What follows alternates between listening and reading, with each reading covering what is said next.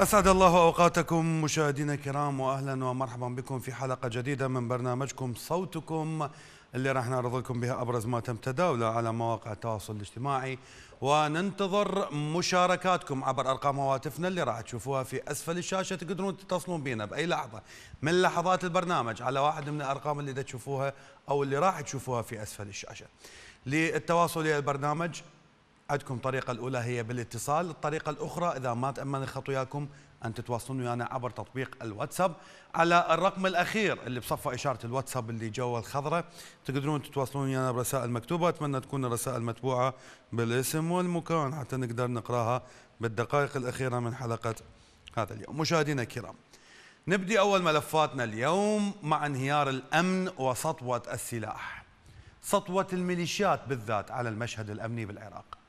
العراقيين دا يعانون من سنوات من دعم الحكومات اللي تعاقبت لحكم هذا البلد والطبقة السياسية وياها إلى الميليشيات المسلحة على حساب مؤسسات الدولة وعلى حساب الأجهزة الأمنية. هذا اللي يفسر لكم استقواء هاي الميليشيات على أجهزة الدولة الرسمية.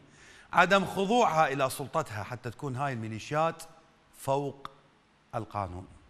مثلا بغداد واستمرارا لمسلسل سطوة الميليشيات مصدر أمني قال لنا أو قال أنه أكو أحد أفراد الشرطة الاتحادية قتل وأصيب آخر بسبب مواجهة مسلحة نشبت بين الشرطة وبين ميليشيا العصائب بمدينة الصدر شرق العاصمة الحبيبة بغداد. المصدر أضاف انه مواجهات مسلحة وإطلاق نار صار ضمن القطاع 73 بمدينة الصدر بين آمر الفوج الأول العقيد نبيل عزيز ومجموعة من عناصر العصائب بأحدث مشاهد الانهيار الأمني فتعالوا نشوف اللي صاير بمدينة الصدر شنو والاحزاب داخليه والعصائب بقرا معانا تعود شدوا شدوا والله ما يحرك هاي دولة هاي دولة والله ما هاي دولة هاي دولة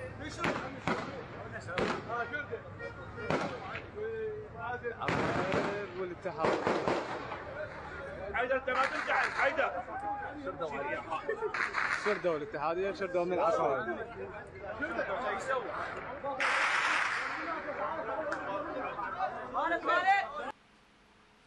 آمر فوج وشرطة اتحادية وقوات أمنية وتابعين إلى وزارة الداخلية يتعاركون ويا ميليشيا تدعي أنه هي من ضمن الحشد الشعبي اللي من المفترض أن يأتمر بأوامر القائد العام للقوات المسلحة. المشكلة هنا أنت تحكي عن جهتين أمنيات. واحدة رسمية وتقول لك أني الحامي للشعب والثانية تدعي أنه هي حامية للشعب. لكن الحال بالعراق مختلف. تعرفون المثل اللي يقول حاميها حراميها؟ هذا المثل الدارج بين أوساط الشعب العراقي. ينطبق فعليا بنسبة 100% على المقطع اللي راح نشوفه هنا. وزارة الداخلية أقرت أن الشخص اللي حاول اختطاف طالبات جامعيات بمحافظة بابل قبل أن يتم قتله هو منتسب لدى الأجهزة الأمنية. وقالت الوزارة أنه عناصرها اشتبكت ويا المتهم بعد ورود بلاغ إلها وقام بإطلاق النار باتجاه الشرطة قبل أن يشهر السلاح على صاحب عجلة مارة بالطريق تقل عدد من الطالبات أجبر السائق على الترجل من السيارة وأخذ السيارة وقادها بنفسه في محاولة لخطف الطالبات. وأسفر تبادل إطلاق النار بين المتهم المنتسب للأجهزة الأمنية ومفرزة من قوات الشرطة مقتل مواطنين اثنين وإصابة آخرين. خلونا نشوف هاي المشاهد الهوليوودية في شوارع الحلة. تعالوا نشوف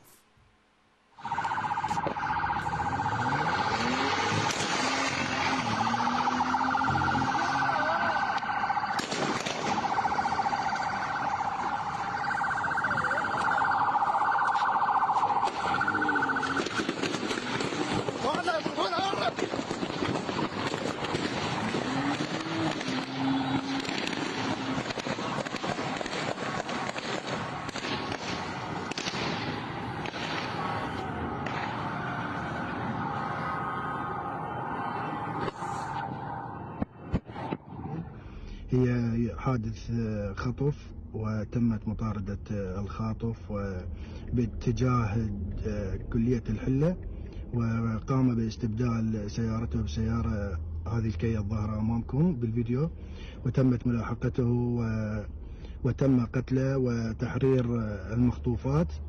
آه، وأيضا كانت هناك مرور جنازة من أهالي بغداد. أيضا آه، أحد الأشخاص المتواجد بالجنازة تم إطلاق النار عليه عشوائيا وفارق الحياة. يعني منتسب بالأجهزة الأمنية أدى إلى خطف طالبات وترويعهن وحادث سير بعد ذلك تهديد سائق سيارة تحت السلاح وسرقة السيارة بعد ذلك حادث سير مروع إطلاق نار على مواطنين. باص مع الطالبات والله ذكرني فيلم أمريكي اسمه Speed بس القصة معكوسة. مجرم مخلي قنبلة في باص والشرطي يركض ورا الباص حتى ينقذ الناس. واشتهر الفيلم لبعض الحركات الهوليوودية اللي صارت بالفيلم. إحنا عندنا Speed update عندنا Speed negative إحنا عندنا الشرطة هم اللي يخطفون والناس يركضون ورا. ترويع أمن وناس ينكتلون وناس ينصابون وحوادث سير والجنازة ما خلصانة والطالبات ما خلصانات. هذا الحال اليوم اللي نشوفه إحنا. هذا حال العراق. العراق الجديد. في زمن من؟ في زمن حكومات الخدمات اللي يرأسها الله لا يوفقني.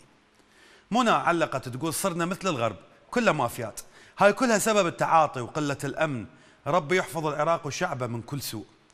وحسين العامري شرطة بابل شنو هالتصرف؟ أكو واحد يشتبك وأكو مواطنين. شنو هالعقلية؟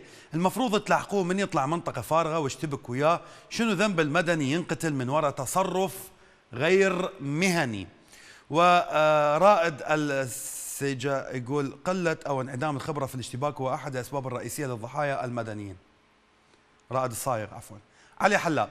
سابقا كنا نراها في المسلسلات التلفزيونية والأفلام البوليسية. أما الآن شاهدناها على أرض الواقع في بلد العجائب والغرائب. نعم قانون الاشتباك مع أي مجرم في الشارع تبطل أي شيء في حال وجود مارة ومدنيين. نعم من المفترض أن تلاحق الشرطة من مكان إلى مكان. نعم من المفترض أن تكون هنالك مطاردة والناس تعرف. نعم من المفترض أنه أكو إعلان من قبل الشرطة أنه يا ناس وخروا أكو مجرم بالشارع أكو مختطف أكو طالبات مخطوفات. هاي رقم واحد. رقم اثنين من قوانين الاشتباك أنتم اشتبكتوا يا مجرم حتى تحررون مخطوفات من إيده. بارك الله بكم لكن مو من قوانين الاشتباك لمنتسبين الأمن في وزارة الداخلية أن يتسببون بسبب قلة الخبرة بمقتل مواطنين وإصابة آخرين.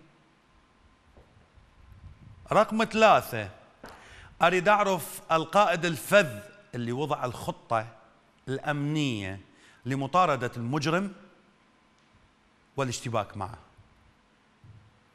أم محمود من باب حياك الله.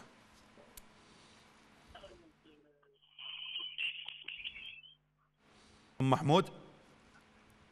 نعم. حياك الله أم محمود. تفضلي. حياني باك هلا بيك. ها امري على حساب ابني. حياك الله يوم. تفضلي احكي.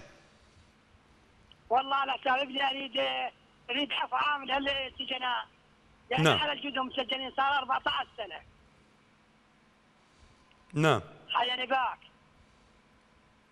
بكت عفو عام والمواجهة كل أربع شهور مرة واحدة. نعم. وياك جاي أحكي وياك. نعم. يعني كل أربع اشهر مواجهة واحدة نروح نواجه. نعم. لا يسولف اي وإحنا ونريد من الله منكم العفو العام تمام. إيه. تمام. شكرا. شكرا لك أم محمود. أم محمود تكلمت عن قضية المعتقلين الموجودين بداخل السجون العراقية والمطالب الشعبية اليوم اللي هي مو وليدة اللحظة هي وليدة السابق وموجودة من زمان ومطالب آه، مستمرة لأشهر آه، من الحكومات اللي تعاقبت لحكم البلد هي إقرار قانون العفو العام لإخراج خاصة الأبرياء من السجون العراقية خصوصا بعد الأخبار والأنباء اللي تأكد وجود بعض من آه، يتبع الميليشيات أو بعض من يتبع الإطار لمحاولة تسويف القرار قرار العفو العام من آه، البرلمان وعدم إقراره قبل تفريغه من محتواه وأن يفصل بطريقة معينة لإخراج من يريدونه هم وإبقاء المعتقلين داخل السجون العراقية. شكرا شكرا لك أم محمود. ينخر الفساد وزارة الداخلية. طبعا لما يطلع لك قبل شوية فيديو أنه منتسب مختطف طالبات وبسبب قتل ناس هذا فساد. لكن راح نحكي عليه غير فساد. بشكل واضح اليوم أكو فساد بكل مفاصل الدولة العراقية وما يقبل الشك بعد أن تحولت هاي الوزارة إلى بؤرة للفساد. ينجم عنها اتهامات كيدية إضافة عن تورط محققين ومنتسبين بعمليات ابتزاز. فرض إتاوات تؤدي إلى عرقلة تحقيق العدالة لكون هذه الوزارة تمثل سلطة تنفيذية لإنفاذ القانون وإحقاق الحق. مشهد تأخير معاملة أو تحريك دعوة لهذا المشتكي أو ذاك المحامي صارت عادية لأنه إذا ما استلم المحقق أو القاضي أو الشرطي رشوة مالية من المحامي أو المشتكي هاي صارت من الأمور المستغربة أن نشوف معاملتك تمشي. من دون أن تتخذ الحكومة أو وزارة الداخلية أي إجراء ضد المتورطين بعمليات الفساد. عندنا محامية من بغداد تحدثت بشكل واضح عن عمليات الفساد اللي تحدث داخل مراكز الشرطة وتفشي الرشا وطالبت السلطات العليا بالتدخل بشهادة مصورة لها تم تداولها بشكل واسع اليوم. خلونا نشوف. كلش مهم. صار فترة يدحكي بيه وقلت لك يصير أمل بالموضوع عسى ولعل أنه يتعدلون. كمحامية كل يعرفون أني محامية. بعملي تعرفون الدعوة تبدي من المركز مركز الشرطة. وهذا الحكي يخص البعض مو الكل. من خلال تعاملي وياهم. الطب للضابط الضابط إذا ما تزرقه ورقتين ثلاثة ما يمشي لك الدعوة. يوقفها يومين ثلاثة أربعة. تخابره بوقت دوامه. ها أنا ما موجود. ها أنا عندي واجب. وعلى مزاجه لازم نروح لأنا وحدة من العالم أطب لي المركز بالليل بسببهم. على مود إنه اخابره من فلان وقت لفلان وقت أنا مو موجود. كذب هو نايم. يجي يوم دوامه أنا مو موجود. إذا انت أنت تناوم بين يوم ويوم. والدعوه يمك أنا شو كنت اخلص دعوتي وأعيد وأكرر. ما يمشي إذا ما أنطي كم فلس فحاولت هواية أتغاضى عن الموضوع لكن كإعلامية بعيدا عن دور المحاماة أنا من واجبي أحارب هاي النماذج. ويا ريت هاي المناشدة توصل للمعني اللي هو وزير الداخلية. الضباط إراد لهم شغل ويا ريت تتابعها. يعني الموضوع زاد عن حده. السؤال اللي يطرح إحنا نعرف كل زين إنه الجيش هو مؤسسة أمنية. يجب أن تكون بعيدة كل البعد عن الانتماءات السياسية حتى تكون مؤسسة محايدة شغلها الشاغل هو حماية البلد. وكذلك وزارة الداخلية ومنتسبين وزارة الداخلية. يجب أن يكونوا محايدين لإحقاق الحق مهما كان الحق صاحب الحق ومن أين تأخذ الحق. لكن المشكلة اليوم بالعراق أنه أنت القضاء مسيس ووزارة الداخلية مسيسة ومنتسبين وزارة الداخلية مسيسين ومراكز الشرطة فيها فساد والقضاء به فساد ومراكز التحقيق والمحققين بها فساد والسجون بها فساد والمواطن هو الشيء الوحيد الرخيص بهذه الحالة. اللي حاول ويقول يابا أني أريد حل هو رايح بالرجلين. والسبب هي هاي الأشكال اللي تكلمت عنها بهذا الفيديو المحامية. لما يجي محقق عند قضية ما ويحاول يتربح من هاي القضية. وفي حال عدم التربح عند أساليب أخرى حتى يقدر يتربح من أدها وبكميات أكبر من الأموال. طبعا وصل الحال بالعراق وبهواية من ضباط البلد اللي تابعين وزارة الداخلية أن يمتهنون كرامة الإنسان المشتكي. يحملوه فوق طاقته حتى أسباب ترتبط بفساد آه، فساد مالي أكثر منها إداري. ففي قضاء خانقين بديالة نقل شاب. ركز لي بهاي. أيات الصورة شاب انصاب بحادث سير. تمام؟ مدير مركز شرطة خانقين بمحافظة ديالة. أصر أنه يجي الشاب إلى مركز الشرطة حتى يأخذ أقواله. شلون نقله؟ نقلوه بفراش وهو نايم عليه بكرين. كرين اللي يشيلون بالسيارات سيارة شحن. لأنه مدير المركز أصر أن يحضر شخصيا. هاي كلها بمحاولة لتسويف القضية حتى يحقوا يعني حيلوا له دون أن يقدم الشاب شكوى ضد من تسبب بإصابته اللي خلته يرقد السرير. تعالوا نسمع.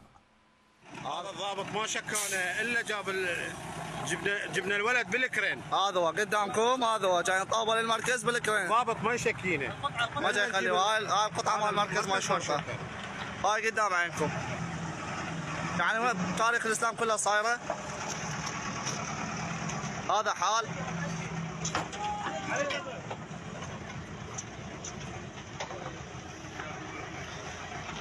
هذا القانون بس على الفقير. ما عندك واسطة ياكلوك هنايا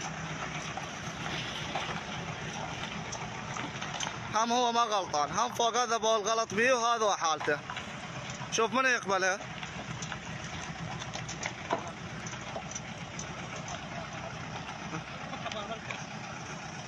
وهذا المركز مال الشرطة. هاي قدامكم جاي نطب للمركز.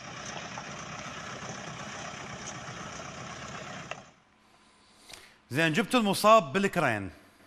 شلون راح تطببوا المدير المركز؟ تشيلوه بالبطانية؟ قال له الله يساعدك أخوي عندك كرين؟ يا أخوي عندي كرين. عندي نقلة بلا زحمة النقلة مالتك سيارة لو فراش. ليش السعر يختلف؟ إذا سيارة شكل ولا فراش شكل؟ آه شنو الموضوع؟ منو سامع بحياته إنه مريض ينقل بفراش بكرين المركز الشرطة؟ لأن مدير مركز الشرطة ما يرضى يشكي بينما بالمقابل بالمقابل أخي العزيز مدير مركز شرطه باختياري في قضاء خانقين محافظه دياله لما يصير حادث سير وشخص ينصاب ويروح للمستشفى الشرطة تروح للمستشفى. لما يصير حادث سير وواحد ينام بالفراش الشرطة تروح ليمه. تعال احكي لنا شنو الموضوع. بس أنا ما سامع إنه المريض ينقل لمركز الشرطة بالكرين. والسؤال الأهم شلون راح تطببوه الجو؟ لو راح يتفضل مدير مركز شرطة باختياري متكرما يقوم من كرسيه المصون ومكتبه الفاضل ويطلع لنا من المكتب ويوقف يم الكرين ياخذ أقواله. وين عايشين؟ وليش؟ ويا عبد الأمير الشمري يا وزير الداخلية هذا الحكي مقبول؟ مريض يجي بكرين؟ افرض افرض لا سامح الله فلت الفراش من السيارة ووقع وراح بها هذا الولد. منو يتحملها؟ أنت؟ لو مدير مركز الشرطة لو أبو الكرين. والفاجعة منو راح يأكلها؟ أهله.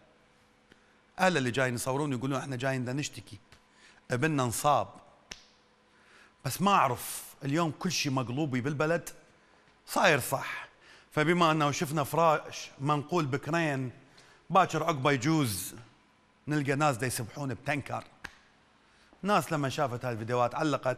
هيثم حميد يقول والله لو ميليشياوي لو سياسي تابع الحزب كان مدير مركز بنفسه اجى للبيت. لؤي الخزرجي. ماكو هيك مهزلة واستخفاف بالمواطن يجب معاقبة كل من كان بالمركز. محمد العامر من هالمال حمل جمال.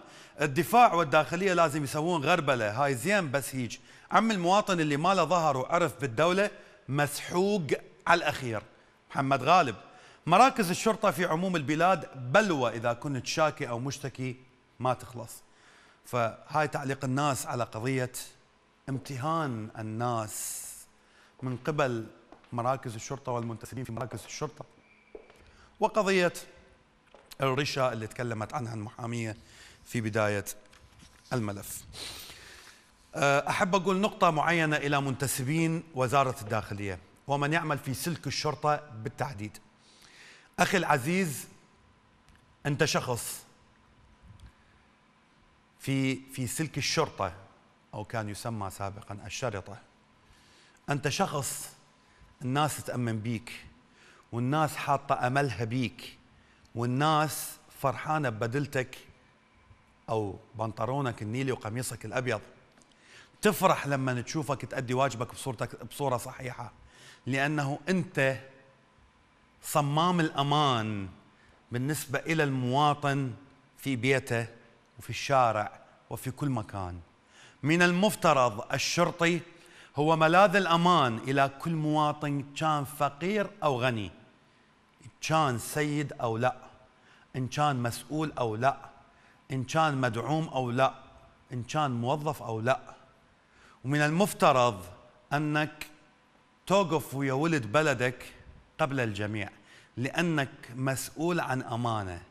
أما تمتهن كرامة الناس وتأخذ رشاوي ممكن تقول لي شنو القضية اللي تطلع من جوا إيدك وأنت تاخذ عليها رشوة يعني تخيلوا الشرطي تجي قضية شخص قاتل له 20 واحد وهذا عنده فلوس وجو دفعوا إلى المحقق مبلغ خيالي جدا وطلعه براءة. أنت خليت مجرم يمشي بالشارع. بالمقابل يجيك شخص مسحوق ومدعوم مثل الشخص اللي شفناه قبل شوية واللي قباله همينه عنده فلوس ونطاك فلوس وحملته الصوت وسجنته.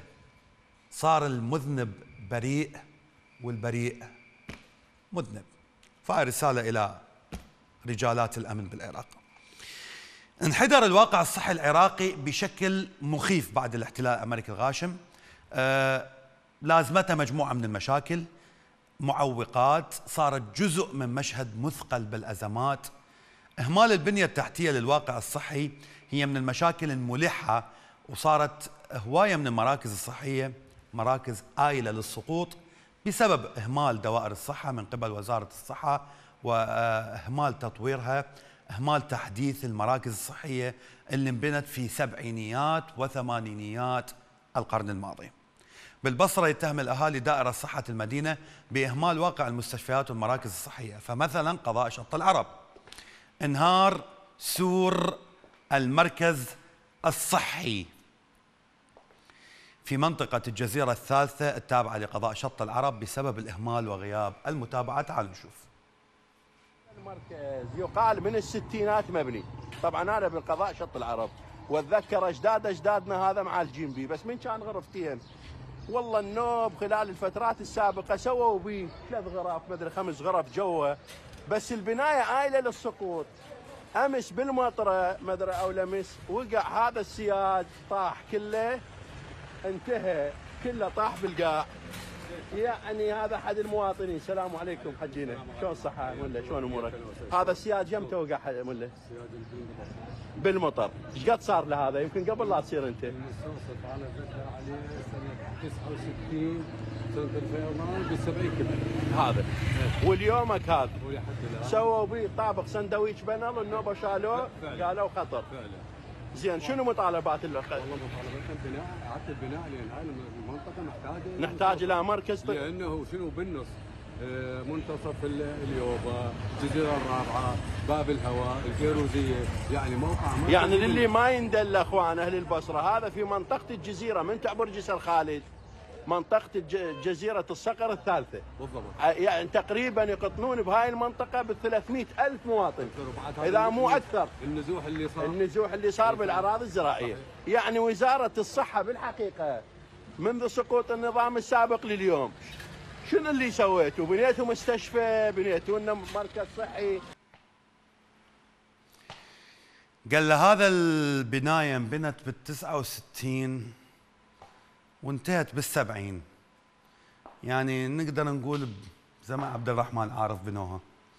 بس أنا عوف إن الموضوع كله عوف إن السياج وقع عوف عوف عوف عوف هواية أمور. أكو نقطة ركزت بيها. قال له بلشوا يبنون بهذا المركز بنهاية ال 69 انتهى بالسبعين. يعني أشهر. شيء طبيعي. إنه يطول البناء شهر شهرين. عادي. بس حجي انت تعرف انه اكو مستشفيات بالعراق صار لها 13 سنة ما كملت؟ واكو مدارس واكو مجمعات سكنية ومن ضمنهن يومكم بشط العرب.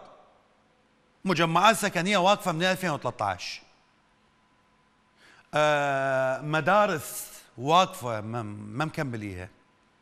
واكو مستشفيات بكاملة. و و و و و و هواية أمور. هذا الحال ما نشوفه. لو كان أكو ذمة وضمير في تنفيذ المشاريع الخدمية بالبلد أو أي مشروع بالبلد. لأنه لو المشاريع السكنية كملت والمستشفيات كملت فهذه آيلة للسقوط بعد ما نحتاجها. يفلشوها ويستفادون من المكان اللي بيها. بس يا خوف يفلشوها وتصير قاع. بنفس السياق. تموا ناشطين من البصرة مدير عام صحة البصرة بالتغاضي وللسنة عشرة على التوالي. من إكمال الطابق الثالث لمركز الأورام بوسط اكتظاظ الأسرة بالمرضى. هاي الشهادة سمعناها قبل وراح نسمعها اليوم للناشط علاء التميمي من البصرة على هذا الموضوع. ليش؟ لأنه هاي الشهادة هذا الفيديو اللي راح تشوفوه هو السبب باعتقال الناشط علاء التميمي بعد أن اشتكى عليه مدير صحة البصرة. تعالوا نشوف. انتظر مدير عام صحة البصرة يتابع وياكم مركز الأورام اللي أسعته حاليا 60 سرير وبالتالي بيطابق 30 سرير متروك خاطبكم مرة واحدة. وترك الموضوع. أنا أدري بك يا مدير شركة نفط البصرة. من أقول لك أهلك وناسك جاي تموت بالسرطان. وما عندهم مكان. آخر أيامهم يأخذون الجرعة. أنت ما راح تقصر. وبالتالي المنافع النفطية نحن كبصريين نحق فيها. وأيضا باعتباره مدير عام صحة البصرة. متهم بالعيادات الطبية. وبالخصوص عيادته اللي فيها أشعة ومفراس ورنين ومتابعها وما متابع حياة الناس فارتئينا إحنا نجي نتابع حياة أهلنا وناسنا؟ طابق بمركز الأورام مثروك من زمن خلف عبد الصمد. ومن سنة 2012 أو 11 لغاية الآن ما حد حرك ساكن. مدير صحه البصرة لو سأل المحافظ وقال له أهلنا جاي يموتون ما أعتقد يقصر. لو سألك يا مدير شركة نفط البصرة وقال لك إحنا عندنا حق يمك والسرطان بسبب التلوث البيئي. كان صرفت له يا مدير شركة نفط البصرة.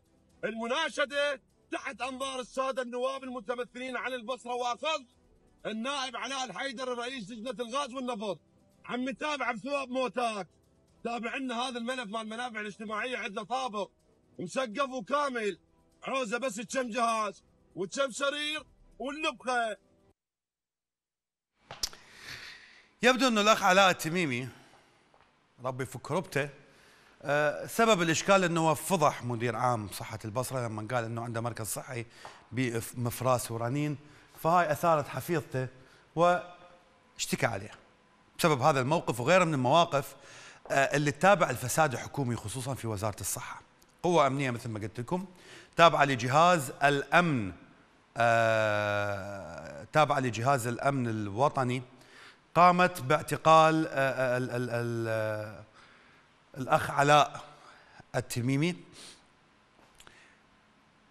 بسبب آه، الفيديو هذا اللي راح نشوفه وبسبب شكوى تقدم بها مدير صحة البصرة نسيت اسمه أعتذر منكم عباس التميمي. بوسط دعوات جماهيرية للخروج بتظاهرة للمطالبة بالإفراج عنه. خلونا نشوف الناشطين شنو قالوا. الناشط أبو حسن الرماحي كان موقوف أو استقدام على قضية قامها الأستاذ معني شليان وتكفل من عندها اليوم. تفاجئنا بصدور أمر قبض مرة أخرى بحقه.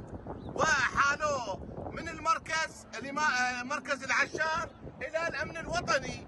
وحاليا الدعوة يم الأمن الوطني مقامة من قبل دائرة صحة البصرة. دائرة صحة البصرة تتعمد بقمع الناشطين. أستاذ علي.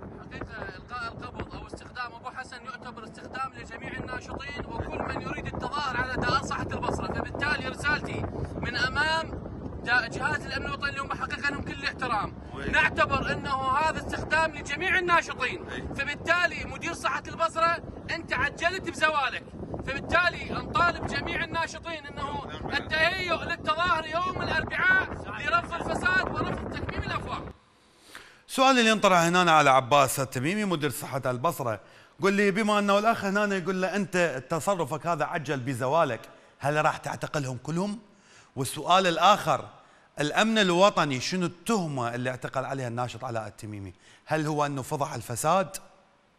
فنتمنى أنه يفهمونا شنو تهمة الناشط إضافة إلى ذلك شنو سبب الاعتقال وشنو القضية مالته وليش علي صبري المحمد يقول تكميم الأفواه وأضح وصريح. أين حرية التعبير التي كفلها الدستور العراقي؟ أبو مصطفى النصراوي اشتغلوا عدل وكافي سرقات والناشطون والناشطين يعوفوكم أبو سجاد الحجي مطر بلكي الفاسدين بهاي السرعة يتم اعتقالهم لو هذا لأن إنسان شريف وصاحب حق إن شاء الله الفرج القريب. وخالد السوداني ممنوع تنتقد أي شيء في عراق الفساد لأننا في حكم الأحزاب الفاسدة. نعم. نعم. خالد جاب لكم إياها من الاخير ممنوع منعا باتا أن تنتقد أي شيء يخص الفساد في في في عراق الفساد.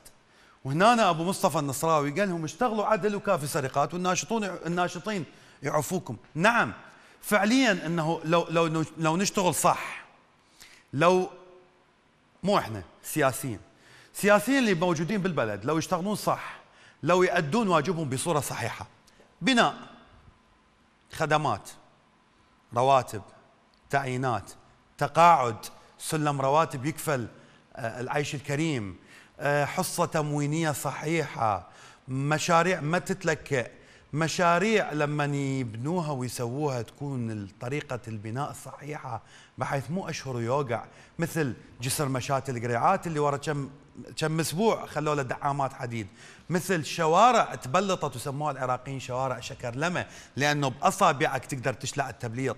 فلو يشتغلون صح ويحاولون يبنون البلد ماكو ناشط تطلع عليهم. ولو هم يردون الصح ويشوفون ناشط طلع ويقول أكو فساد في مكان ما كان كلها وقفت ويا الناشط لمحاربة الفساد. لكن من يمتهن الفساد يدافع عن الفساد. هذه قانون. من انهيار الواقع الصحي بالبصرة إلى انهيار الواقع الخدمي بالقادسية. المحافظة تشهد مشاريع صورية تحت عنوان ويافطة الإعمار بعامل الإنجازات المزعومة مثل اللي وصفها رئيس حكومة آه، الإطار محمد الشيع السوداني بداية السنة. مثلا بس سياق تفاجأ مواطن بطريقة تبليط طريق فرعي بداخل محافظة القادسية. تخيلوا أنه أنت تمشي بالشارع وتطب الفرع تباوع على الفرع هذا الفرع اليمنى مبلط اليسرى مبلط هذا اللي صاير بالقادسية ليش؟ لأن يقول لك كانت أكو سيارات واقفة ما قدروا يبلطون تعالوا شوفوا تعالوا دفاع المدني القديمة شو رايكم شايفين إيش تبليط؟ يعني هذا تبليط أكو إيش تبليط؟ باع باع وهذا نفس الشارع شوف هذا السايد السيارات الواقفة بيه وهذا تبليط أكو إيش تبليط؟ وين صايرة؟ تفضل. يلا. وين اكو إيش تبليط؟ بالعالم اكو إيش تبليط؟ تفضل هذا الشعر العام. شوف. على طوله على طوله منها ناية الفرع. ناية مطعم التأمين. تفضل. يلا. شوف شوف. شوف. هاي المجال شلون سادية تفضل. هذا تبريد قولوا لي ماكو سيارات شرطة بها بوق؟ اللي طابق هنا وابن المنطقة. أغلب الظن هم أصحاب المنازل ذني ماكو الشرطه يطب يقول يابا راح نبلط الشارع طلعوا سياراتكم. زين ما قدرتوا بالليل تسدون الشارع بحيث تقول لهم يابا عندنا شغل بالشارع ممنوع سيارة تفوت؟ لو انتظرتوا السيارات تطبق وجيتوا الصبح يا لكم هاي أكو سيارات طابقة جوا شلون شو نسوي؟ يلا بلط هذا النص. وعوفل هذا. زين وهذا شو وقت يتبلط؟ زين من سديتوا المنهولة مال المجاري شلون راح تفتحوها؟ زين أخويا بلا زحمة الجير لما ينحط بالشارع حار. السيارات ما تقدر تدوس عليه إلا تدوسه حادلة. هم منها يبرد وهم منها يقسى. زين الجير اللي مشمر يم التايرات ماذا يسبب ضرر؟ تايرات المواطنين. يلا منو مهتم بالمواطن حتى يهتمون بتايرات المواطنين؟ نبقى بالقادسية. مقطع ثاني يبين لكم عمل دوائر البلدية في المحافظة لتعبيد أحد الطرق. شو وقت دا يبلطون الإخوان ويا المطر؟ يعني تمطر الدنيا وما يبلطون. ما راعوا الضوابط الخاصة بالعمل. ما انتظروا إنه القاع تجف؟ بسط تساؤلات. يا ترى الإسفلت اللي صبوه بهاي القاع وبلطوه ورا ما ينتهون من عملية الإكساء شنو الجودة مالته؟ شنو المتانة؟ شنو مصير الأموال اللي انصرفت عليه بظل هاي الظروف الجوية؟ تعالوا نشوف. هاي حاليا بالمطر هاي بالظل بالمطر شوف الطين شوف شوف. شوف شوف الماي أخي تبليط المطر وطين؟ وين صار هيجي آه شوف. بس هيجي ومالك تبليط المطر وطين؟ آه شوف. شوف. شوف ذي الشارات واقفات شوف المطر وشوف الطين. ها شوف. جاي بلط هنا بهذا المطر وهاي الطين. ها ثواله الناجد من إحنا. مثلا الناجد من ها يقول له هذا مو طين. ها شوف. يبلط على هاي هو مو شغلة مو طين. خويا أصول التبليط هي ثلاث أشياء. اولا تحك وتجيب حادلة وتدوس التراب وراها تفرش مادة من الإسفلت السائل على التراب حتى تقضي على العزل بين التراب وبين التبليط. وراها السبيس وهي المادة الأساسية للتبليط. وراها الجير وراها تجي الحادلات تدوس الجير. يلا يصير شارع هي خمس آه، أشياء. زين قل لي خويا بلا زحمة إذا هو مي وجبت الإسفلت السائل ودرته شو راح يلزم؟ يعني أنتم فعليا هنا دا تأسسون لي مشروع طسات حديثة. أنتم فعليا دا تقولوا لهم إحنا راح نبلط لكم الشارع. وراها تعالوا لعبوا بيه شلعوا باياديكم أحمد جبار مهوس عطوان يقول هذا شغل كلاوات. حسبنا الله ونعم الوكيل ولا حول ولا قوة إلا بالله العلي العظيم. ووليد جلال هذا سوف لن يصمد وسيتلف بوقت قصير. إذا كنتم لا تخافون العباد ألا تخافون الله؟ لماذا هذا العمل الذي لا فائدة منه؟ أليس هذا هدر بالمال العام؟ عماد الزيادي هاي الشركات أصحابهم نفسهم أعضاء مجلس المحافظة ومجلس النواب فهذا الشيء طبيعي بالنسبة لهم. حرامي يسرق من حرامي. ودريد الراوي يقول عمي كل شيء شفنا بالعراق بس مال تبليط بالمطر والطين ترى هاي واقفة كلش حاجة السامع حتى الغبي ما يسويها. فكان هذا تعليق الناس على هاي القضية. فتخيل أنت عندك مشاريع مصيبة بالعراق. يا ما يبلطون نص شارع يا ما يبلطوا لك بالمطر. شنو رأيكم؟ عبد الرزاق من بابل حياك الله. السلام عليكم. عليكم السلام ورحمة الله. يوم خوجة تفتح محاضرات مجانية يا ريت تستفادوا من وقتها هذا ظاهر مهندس اللي يشتغل هذا المشروع. نعم. ظاهر كان كان إفرار بذاك الزمن. وجماعه لزموه المهنة والمنصب الظاهر هو هيك يا أستاذ إفل. نعم. يقول إذا عرف السبب بطل العجب. نعم. آه، أستاذ إفل اليوم يعني الفساد المالي والإداري هو اللي جاي ينخر البلد. نعم. يعني أنت شوف كل مفاصل الدولة وقطاعات الدولة. اليوم آه، الفساد هو اللي مستشرب البلد. يعني ما تلقى لك فد مشروع هو اللي ناجح. يعني أبسط شيء أضرب لك مثال يا أستاذ أفل. يعني إحنا الهاجس الأمني اللي هو إحنا صراحة متاملين به خير لكنه اليوم الهاجس الأمني والمستقبل مالتنا يكون محفوف بالمخاطر لأنه نعم. إحنا يعني حقيقة أستاذ أفل. يعني عصابات تقتل يعني إنسان جاي يؤدي واجبه وهذا يعني مثل ما تقول جاي يخدم بلد جاي يخدم يعني يخدم المهنة مالته. نعم يجي نعم. واحد تافه ويكتله يعني هاي اذا هذا أنا أتذكر أستاذ أفل أكو دولة أمريكية ما ما يحضرني اسمها. فكنت قبل يعني بالأخبار هذه أشوف العصابات تقتل يعني الناس المارة تقتل.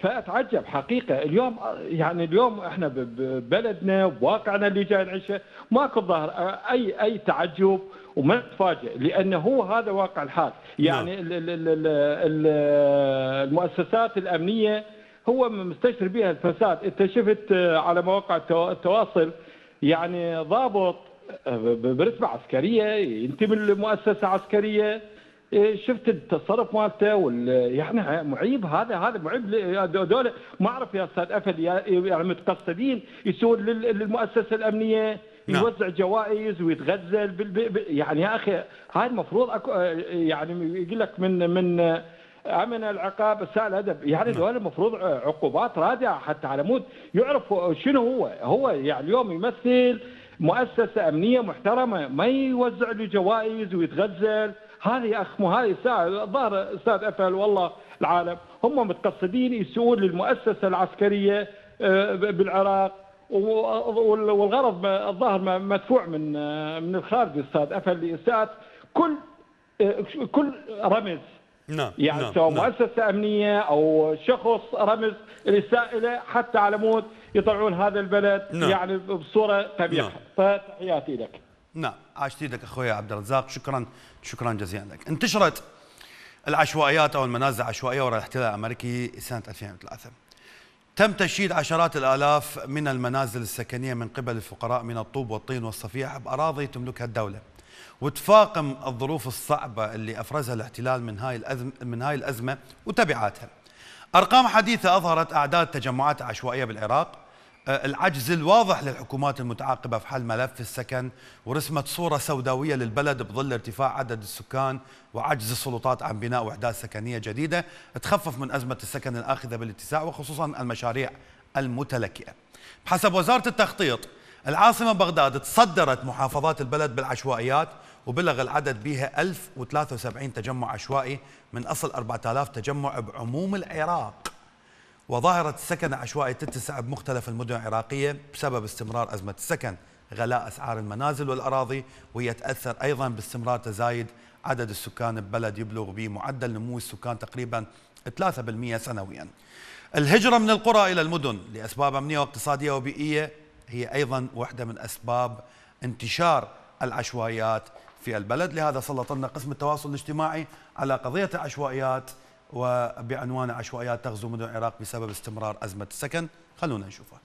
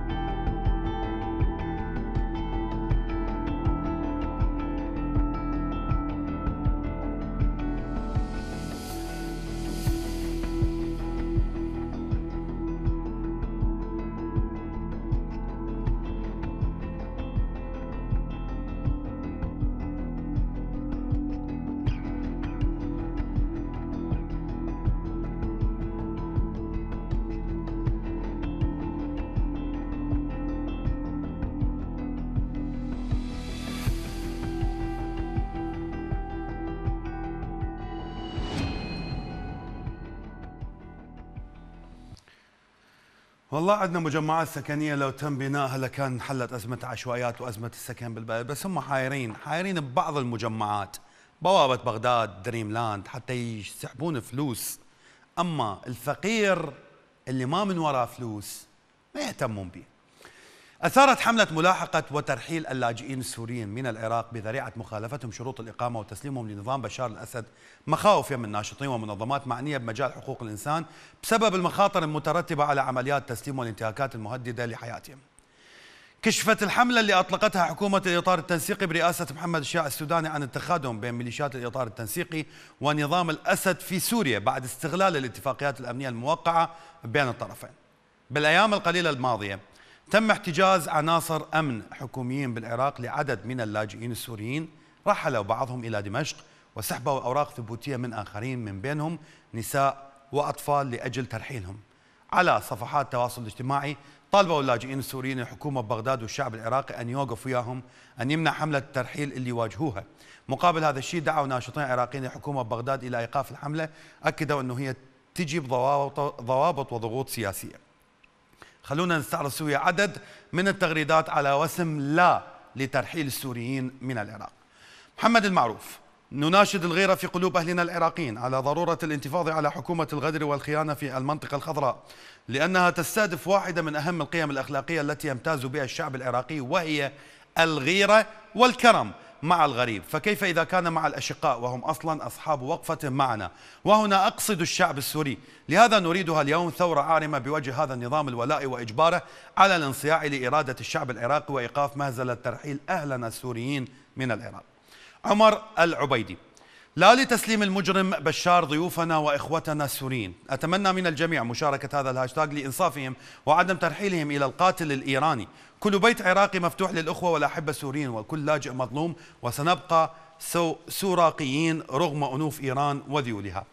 روز تقول لا لترحيل السوريين من العراق. السوريين أهلنا وأحبابنا وعشنا عندهم وعاشوا عندنا. دم واحد وقلب واحد على حكومة السودان إيقاف النذالة التي تعلموها لترضوا, لترضوا إيران وميليشيات الأسد ما شبعتوا من دمنا لساتكم. وأبو آدم لا لتسليم المجرم بشار ضيوفنا. أتمنى الجميع أن تشارك حتى لا نصير سبة بين الناس. ونسلم اللاجئين السوريين ضيوفنا إلى الجلاد. لا لترحيل اللاجئين من العراق. وكل بيت عراقي مفتوح للأخوة والأحبة السوريين. وكل لاجئ مظلوم. كانت هاي تغريدات الناس فيما يخص ترحيل الإخوة السوريين والأشقاء السوريين من العراق بالإكراه إلى دمشق. والسؤال اللي ينطرح هنا ليش؟ في السابق أنتو يا محمد الشياع السوداني وحكومتك وعلى رأسهم تشبيرك نور المالكي كنتوا عايشين بسوريا. لما كنتوا تقولون إنه إحنا مضطهدين إحنا ملاحقين إحنا ما عايشين إحنا ما مرتاحين إحنا متأذاين وعشتوا في سوريا معززين مكرمين وبعضهم عاش في الأردن. تجي هسه ترد الصاع صاعين وترد الكرم لأم وتخلينا السبة مثل ما قال أحد المعلقين بحلق الناس أنه إحنا نطرد ضيوفنا. حفظ الخبز والمي والملح. نلتقيكم على خير إن شاء الله مشاهدينا الكرام. بحلقة جديدة من برنامج صوتكم الثلاثاء. في أمان الله.